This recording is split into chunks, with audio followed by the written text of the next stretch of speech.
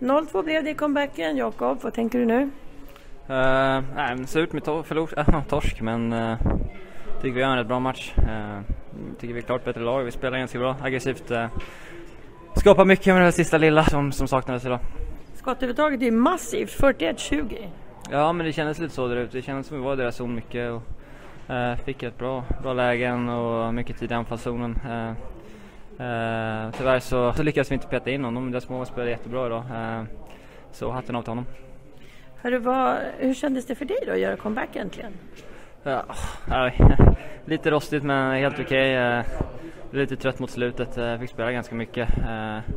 Men det, det är kul. Det är lika bra att spela ordentligt så man kommer in i det direkt. Det kommer nog att bli bättre och bättre. Att Brodda försvann där med en utvisning ganska tidigt, hur påverkade det din comeback? Uh, men givetvis det är tråkigt. Uh, jag förstår inte riktigt hur han kan åka ut på matchstraff där. Uh, uh, fattar ingenting riktigt men... Uh, Vad är det som blir tokigt då tycker du? Varför är det inte matchstraff? Ja, max en tvåa tycker jag.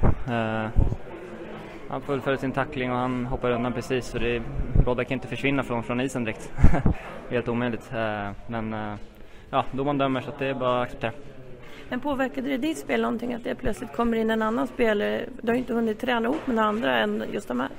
Uh, nej, men vi är vana vid det. Uh, det är, ofta det mixas om i kedjor hit och dit så det, det, är såklart det är alltid kul att spela med Brodda uh, men det blir mer matcher. Jag måste fråga den här skadan som tjej så man är lite svårt att sätta sig in i det där men hur är det ens möjligt att det går av urinröret? Ja, det sitter ju där under pungen och rumpan eller vad man ska säga i mellangården. Så jag vet inte heller, jag är inte så bra på biologi direkt men jag har fått lära mig lite så att jag förstår vad skadorna är i alla fall. Det måste vara din topp ett konstigaste, eller? Ja, värsta också. Jag ska inte prata mer om det, men eh, jag tänker, du, när du har suttit vid sidan av så har du ju sett en hel del och du har ju sett att säkert att målskyttet har gått ner och det har blivit fler förluster. Vad har du tänkt när du har suttit där? Vad har du känt liksom, det här fattas?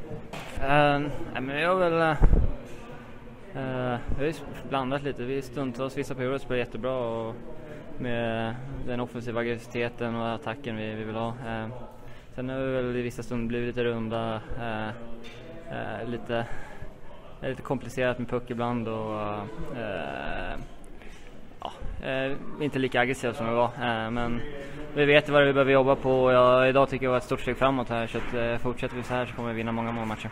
Vad beror det på då, att man inte är lika aggressiv? Uh, ja, det är svårt för mig att svara på. Uh, det är många faktorer säkert. Men, uh. men finns det något man kan se som, som nu när du har suttit vid sidan av som du har känt att mm, vänta den där lilla detaljen där och... jag vet inte, ibland om det är någonting som går emot man kanske man börjar fundera lite och då hamnar man i en hundradel efter och ja, spelet går fort där ute och hamnar man lite lite efter ibland så, så är pucken borta när man ska, ska, när man ska vara där liksom. Så att det, jag vet inte riktigt, det är svårt att svara på men jag tycker ändå vi eh, spelade bra idag och fortsätter vi så här så kommer det se ljus ut. Jag tänker också, ni var ju överlägset, hade gjort överlägset flest mål under första halvan av serien och sen har det gått ner. Är det liksom en självförtroendefråga eller är det spelet som knackar?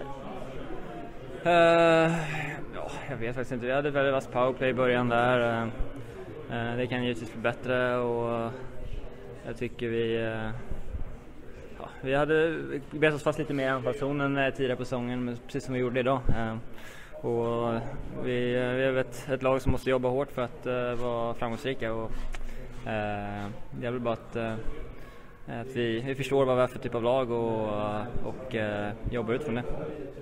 Ja, sist får man fråga, det här var ju din första jul som pappa. Ja. Så bortsett från den här dagen då, hur har julen varit? Ja, men det har varit mysig. Uh, var i Eskilstuna här hos svärföräldrarna först eh, fram till den 23 så firade hos mamma och pappa eh, med, med en av mina bröders eh, familj också då så att det var ett del barn och lite tomtar och grejer så att det var, det var mysigt. Börjar Frasse förstå vad du håller på med? Det tror jag inte. Kanske lika bra det ett tag framöver. Ja, jo, ja, men han, uh, han, uh, han gillar i alla fall att leka lite med bollar så det är ett, ett steg i rätt riktning i alla fall.